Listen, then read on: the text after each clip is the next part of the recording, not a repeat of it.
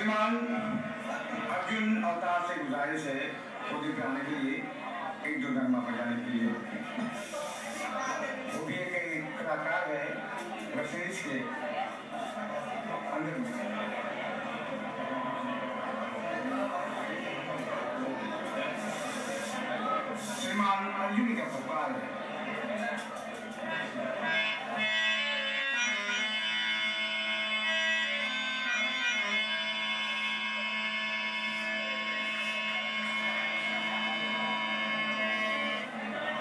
तालियाँ दीजिए श्रीमान अर्जुन अवतार के लिए कि हालाँकि तालियाँ बजाने में ज़रूरत नहीं लगता है।